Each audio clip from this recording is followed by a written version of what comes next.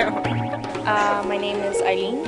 Um, I'm from, well, I was born in Tonga, but I've been raised in Fiji. I'm proud to call Fiji my home. Uh, what brought me to the workshop? Um, the nice 350 sign in the front.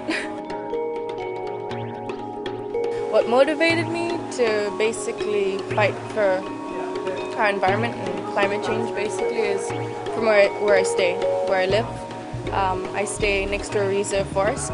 I just learned that a couple of years ago that if government were to create funds or employment, they could cut the forest down. If they were to cut that down, I'd lose my home, basically. So it's something I want to see around in the next 20, 30, 40, 50 years, and I want my children to see it too. So that motivated me to sort of step up and fight for where I stay, the environment. Going to workshops, um, I learn a lot from it.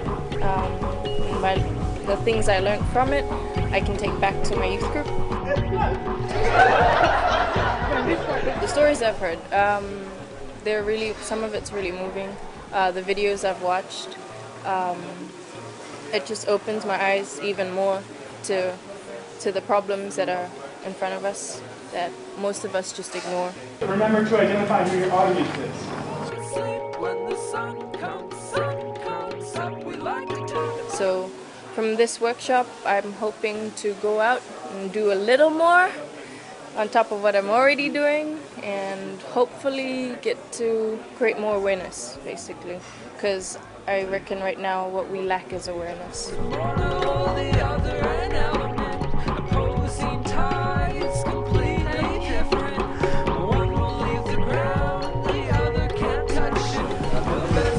It.